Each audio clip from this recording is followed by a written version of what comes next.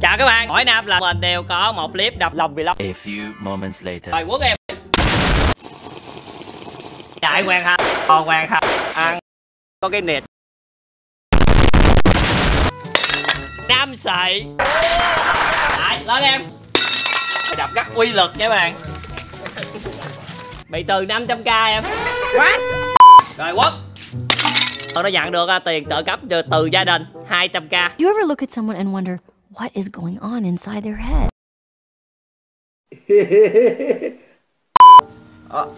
à dạ toàn nó đã nghe tiếng gọi của các bạn đại chiến thắng trò chơi này các bạn nên đại đã chiến thắng mười cũ Wow, game dễ quá